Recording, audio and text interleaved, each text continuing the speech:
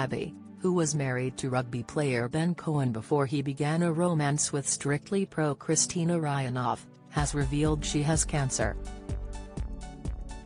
The mother of Ben's two children took to Instagram to share her health update, alongside a video from her hospital bed after having a stoma bag fitted.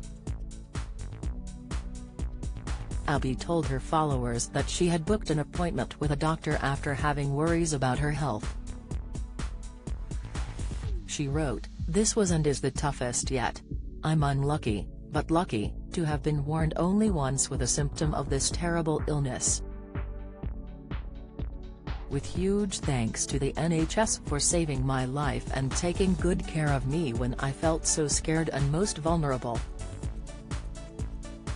Madonna breaks silence after health ordeal as she issues tour update I can't express enough how lucky I am to have such amazing family and friends that have helped me through this incredibly tough journey.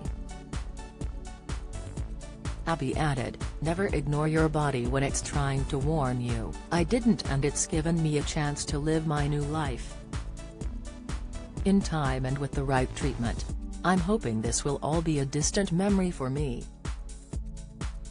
You never know how strong you are until it's your only choice. Abby concluded her post by adding the hashtag, hashtag FKCancer. Don't miss.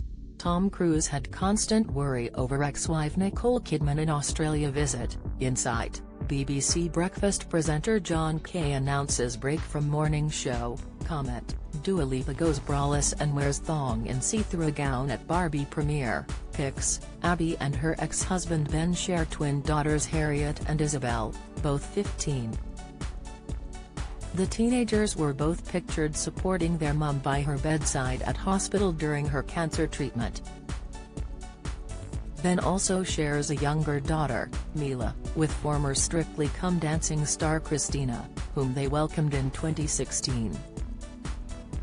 Abby and Ben confirmed they had split just months after the rugby star competed on Strictly alongside Kristina in 2013.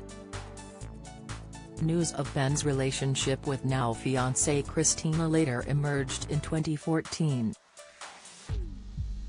After her heartbreaking split from Ben, Abby found love with partner David Warner. She said while addressing their relationship, I'm happier in my own skin and am not that broken girl who used to be married to a famous rugby player. Ben proposed to Kristina in October 2022 during a holiday in the Maldives.